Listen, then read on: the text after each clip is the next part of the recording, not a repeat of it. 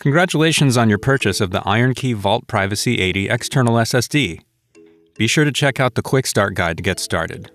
Now that you've performed the initial setup with the user-friendly touchscreen, let's walk through some of the additional features and menu options to ensure that you make the most of your VP80ES.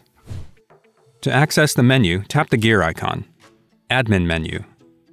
This is the admin menu controlling all the advanced settings for VP80ES. Tap the first menu item to change password.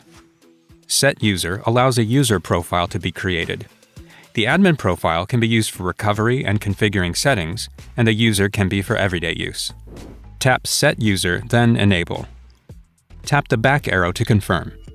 Tap the check mark, and your VP80ES will return to the admin menu where you will need to tap the back arrow, connect the drive, then lock and disconnect, and finally, power off the device.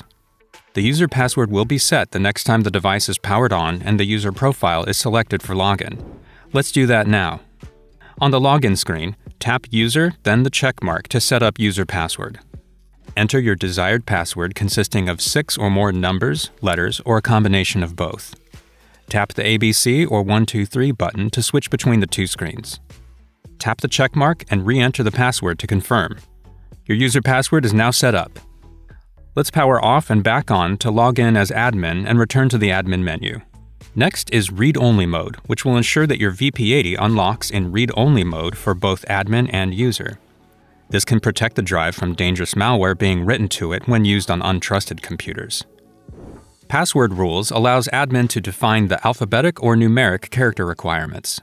Password length is where you can set up the minimum length between 6, the default, and up to 64 characters. Next is password counter. This is the maximum number of invalid admin or user passwords that VP80 will allow before triggering a crypto erase of the SSD, which will wipe out all data forever. The default is 15 attempts, and it can be set between 10 to 30 attempts.